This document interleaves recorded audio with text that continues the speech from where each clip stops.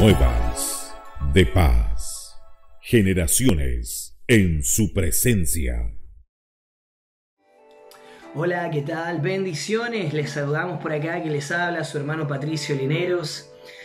Eh, es un motivo de bendición para nosotros poder saludar a toda la amada iglesia de la Once Oriente aquí en Talca, saludar a nuestros pastores, saludar a cada, a cada hermano de la iglesia, independiente del cargo, independiente de, lo que, de las responsabilidades que tenemos en este tiempo. Queremos saludar a toda la linda gente que se congrega en la Once Oriente, desearle las más ricas bendiciones para todos ustedes. No nos hemos podido congregar ya hace más de un mes, quizás vamos para el mes y medio, pero hay algo que nunca se ha apartado de nosotros, y eso es la presencia del Señor. Él hizo una promesa, Él dijo que iba a estar con nosotros y Él no es hombre ni hijo de hombre para mentir ni arrepentirse. Él está con nosotros y lo que Él dice, así es. Estoy acá en mi hogar, estoy con mi esposa Catherine, estoy con mi bebé Gabriel, así que si en algún momento lo escucha gritar, en nuestro bebé han preguntado por él, está súper bien, ya tiene un año, dos meses, así que para nosotros es motivo de bendición poder estar en esta tarde, en este lugar compartiendo junto a todos ustedes y quiero compartir una palabra que Dios ha puesto en mi corazón que no me cabe duda que va a ser de bendición.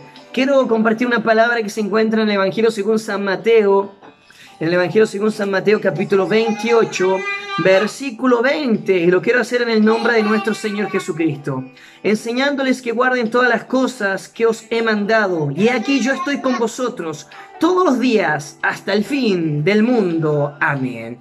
Qué palabra más alentadora la que el Señor nos dice en este tiempo. Él está con nosotros hasta el fin del mundo. Vivimos en tiempos en donde nadie sabe lo que va a ocurrir. Muchos están ya diciendo, y lo cual es una realidad, de que la economía se viene complicada. La crisis mayor que hemos conocido en este último tiempo fue la crisis de los Estados Unidos en el 1929 y prácticamente 90 años después el universo, o sea, el planeta vuelva a enfrentar una situación difícil. Por ahí se han perdido fuentes laborales, por ahí no nos estamos congregando debido a esto que está ocurriendo y vemos diferentes factores que a la larga, sumando, quizás producen que venga nerviosismo y que venga desesperación en nuestras vidas. Pero nosotros cuando nos vamos al último versículo de este Evangelio según San Mateo, nos podemos ver que hay una palabra que está viva y una palabra que está fresca y una palabra que es eficaz en este tiempo. Y es una palabra que dice, he aquí yo estoy con vosotros todos los días. Y medite bien lo que el Señor dice. El Señor no dice, yo estoy con vosotros nada más, sino que Él le da un realce, decir, yo estoy con ustedes en Talca, yo estoy con ustedes en Santiago, en la primera o en cualquier región del país, en todo el continente. Yo estoy con vosotros en cualquier lugar del mundo, todos los días, hasta el fin del mundo. Lo que nos tiene a nosotros que producir gozo, lo que a nosotros nos tiene que producir una estabilidad emocional para saber que en medio de los tiempos tan difíciles y tan adversos que podemos estar viviendo, no caminamos solos, sino que por el contrario, hay uno que se mueve a nuestro favor, como un poderoso gigante, y se mueve a nuestro favor para poder decirnos, sabes, yo estoy contigo. Nunca te he dejado y nunca te voy a dejar. No dice estoy con ustedes como uno más, sino que dice yo estoy como un poderoso gigante. ¿Por qué estoy como un poderoso gigante? Porque quiero que ustedes comprendan de que en medio de sus dificultades más grandes, basta con que yo lo desee y el problema y la situación se va. Vivimos en un tiempo en el cual no nos estamos congregando. Y gloria a Dios por aquello. Usted dirá, ¿qué está diciendo el hermano Patricio? Gloria a Dios por aquello. ¿Sabe por qué? Porque es aquí en donde se empieza a juzgar realmente al varón de Dios. Es aquí en donde nosotros vamos a poder meditar si lo que predicamos durante años es realmente efectivo. Porque muchas veces confundimos el estar en la iglesia, confundimos que si yo estoy en la iglesia, estoy con una comunión con Dios tremenda. Y muchas veces eso no es así porque el ir a la iglesia se ha vuelto en un hábito, se ha vuelto en algo que lo podemos hacer muy a menudo, pero nuestro corazón muchas veces está lejos de Dios. Y si alguien dice, hoy extraño tanto a Dios en este tiempo, no me puedo congregar. Una cosa es que extrañemos la iglesia y el culto y la coinonía con los santos, pero otra cosa muy diferente es que extrañemos a Dios. Porque cuando nosotros analizamos este versículo, nos podemos dar cuenta que el Señor está todos los días con nosotros. Me acuesto y me levanto con el Señor, me ducho antes de irme al trabajo, me estoy vistiendo y estoy realizando diferentes actividades y ahí está el Señor.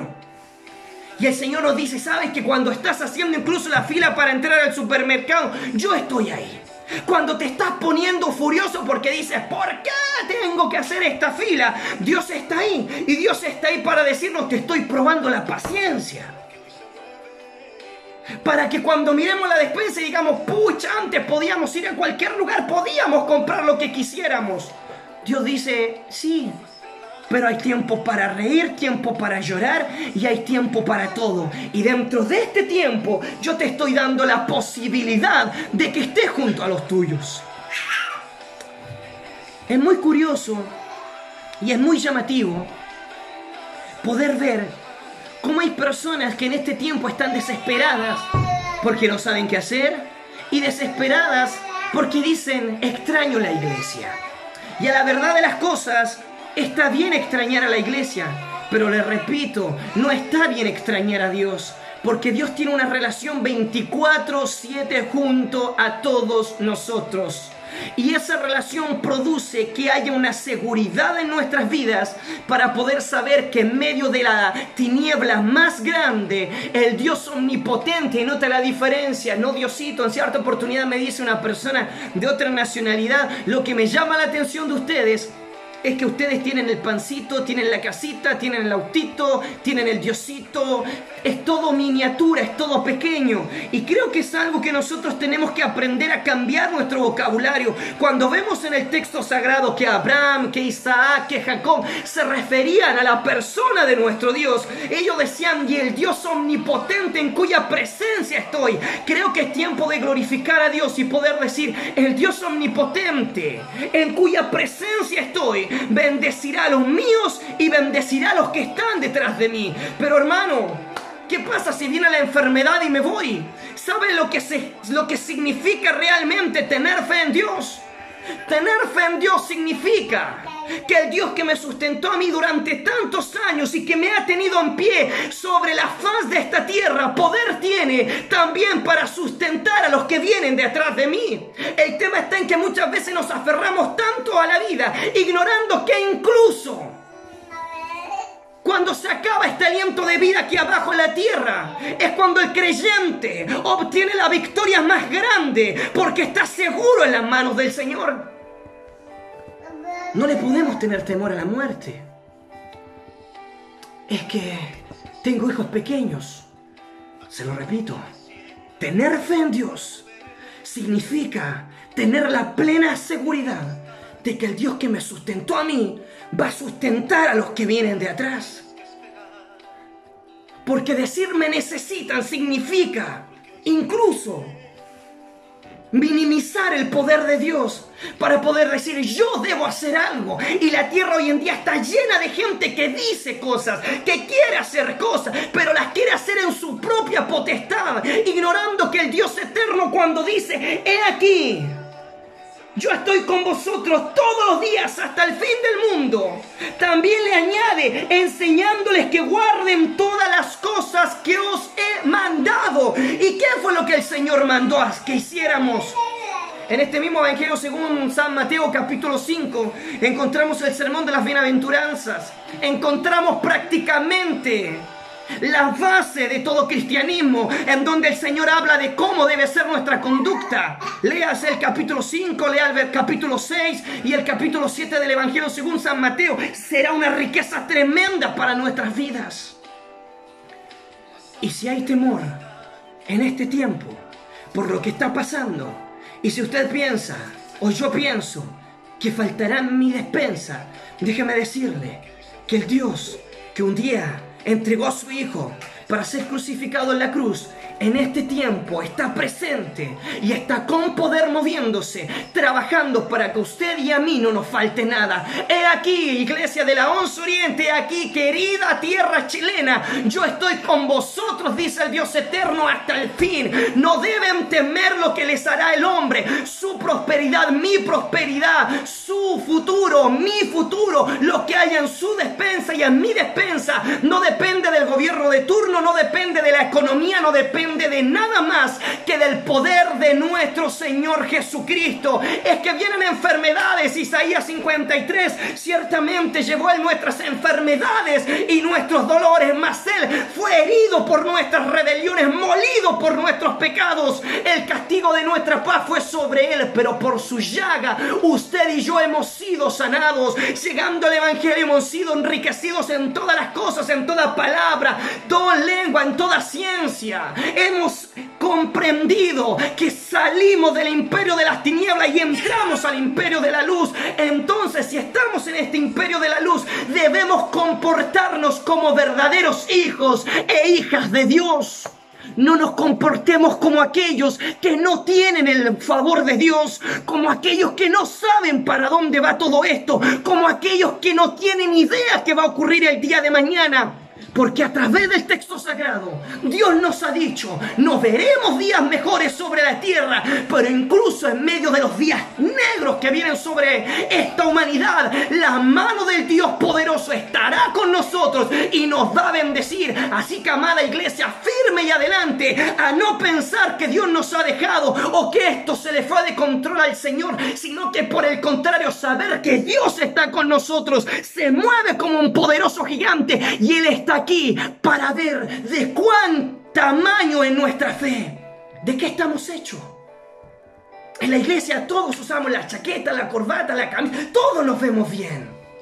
Pero ahora que estamos en nuestro hogar, es en donde tenemos la responsabilidad de tener los cultos más gloriosos de nuestra vida. Pero ¿por qué? Yo extraño las danzas, extraño las profecías, extraño esto.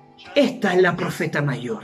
Y esta profeta mayor a mí me ha dicho en este día y para todos los días de mi vida que Él estará conmigo y nunca me dejará y nunca me va a desamparar. Yo quiero orar en esta tarde para que Dios nos bendiga antes de poder finalizar estos breves minutos y para que podamos comprender que Él nos dejó un ejemplo.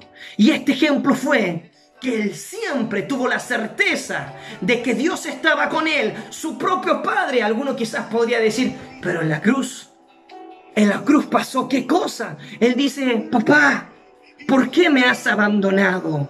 Pero no mezclemos cosas y no nos vamos para un lugar que no tiene nada que ver con la verdadera esencia. Cuando en la cruz el Señor dice, Padre, Padre, ¿por qué me has abandonado? Era porque el cuerpo de nuestro Señor estaba lleno de pecado, porque en ese momento cargaba sus pecados y mis pecados y Dios no está donde hay inmundicia. Y eso nos tiene también que hacer pensar que si nos sentimos solos y Dios no está con nosotros, es porque quizás en nuestro cuerpo el pecado abunda pero si en esta tarde el pecado abunda, el Señor Jesucristo vino como un manso cordero y como el sacrificio perfecto de Dios para poder perdonarnos, librarnos y para poder justificarnos delante de Dios eterno y soberano Dios. A esta hora de la tarde, de la noche, clamamos a usted, declaramos honra, gloria, imperio, potencia y le damos gracias porque usted ha sido bueno y ha sido bueno en gran manera. Gracias por esta palabra y porque usted nos anima en este tiempo, mi Señor para que nosotros podamos comprender que usted está siempre junto a nosotros y que nunca nos ha dejado y que nunca nos ha abandonado. Gracias porque estás aquí y estás donde mis hermanos y porque mañana seguirás estando y así será hasta el final de los días. Gracias Padre y declaramos bendición sobre todo tu pueblo de norte a sur y de mar a cordillera en el nombre de nuestro Señor Jesucristo. Amén. Les saludamos en el nombre de nuestro Señor Jesucristo. y usted pudo escuchar a Constantemente como él eh, se manifestaba en su estilo, tiene un año, dos meses, no sabe hablar bien, pero ahí está nuestro bebé, Catherine también les manda afectuosos saludos y yo por mi parte me despido, soy el hermano Patricio Lineros, un abrazo a todos, a nuestros pastores, a todos los hermanos, en especial al cuerpo de voluntarios con quien tenemos la bendición de trabajar junto a nuestro hermano Anselmo Toledo y a nuestro hermano Oscar Cofre. Un abrazo a la distancia, que Dios les bendiga, recuerden siempre, si Jesús está en su batalla, la victoria está más que asegurada. Dios les chao, chao.